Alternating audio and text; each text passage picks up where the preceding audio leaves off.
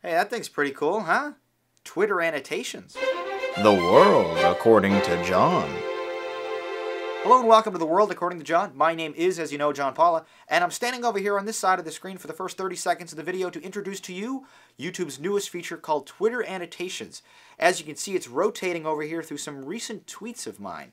I was asked by YouTube to be a beta tester for this new function, uh, a new feature they're trying out and trying to work out the bugs of, and it's called Twitter Annotations. And as you can see, it is Twitter mentions and tweets live incorporated into a video.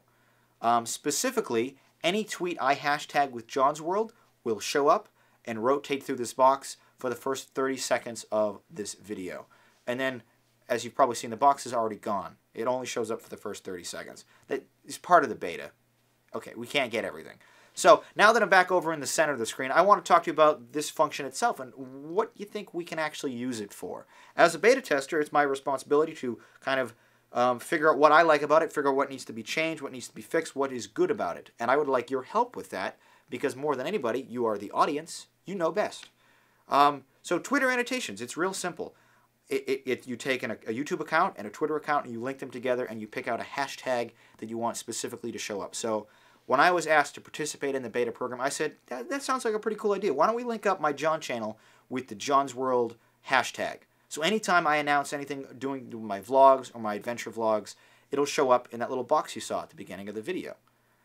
But the problem is right now, it, it is limited. As a beta, we're just limited to the, to the top right corner and only for the first 30 seconds. Obviously, YouTube is aware that that is kind of dumb. So in the full feature, which I have no idea when it'll come out to the rest of the world, um, you'd be able to change the timing of that and also change the positioning. So if you wanted like a almost like a, a, stock ticker at the bottom of the screen just for your recent tweets, you could do that. But I am kind of struggling to figure out what I would like to use this for or what its application really could be used best at. That's where I want to um, come to you guys and see if you have any good suggestions. So you have this ability to have an annotation on a video that updates in real time with recent tweets related to that YouTube channel. How do you think we could use it? Is it kind of pointless? Is it just, is it no easier than a regular annotation?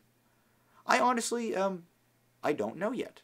But that's why this is a beta program. We will find out what its usefulness is together. And how would you like to see it improved? Should be able to incorporate multiple hashtags from multiple Twitter accounts? Probably. But I also imagine that would be more complicated.